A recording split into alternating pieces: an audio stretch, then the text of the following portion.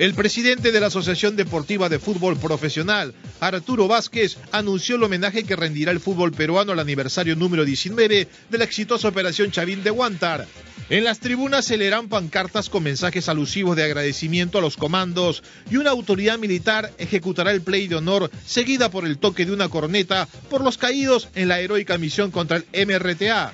Al final de cada partido de la fecha 12 se entregará esta Copa Chavín de Guantar al capitán del equipo ganador. Sí, van a entrar gratis, es un hecho. Ya está, se están haciendo las coordinaciones. Los equipos de fútbol profesional van a colaborar con eso. El tributo a los hombres que no dudaron en arriesgar sus vidas para rescatar a los rehenes de la residencia del embajador de Japón será en diversos estadios. En estos últimos años la Asociación eh, Deportiva de Fútbol Profesional siempre se ha acordado eh, y le ha rendido homenaje a los héroes de la Operación Chavín de Guantar. El almirante Luis Gianpietri, quien fue rehén de los terroristas, recordó que escuchaban transmisiones futbolísticas en una pequeña radio durante su cautiverio.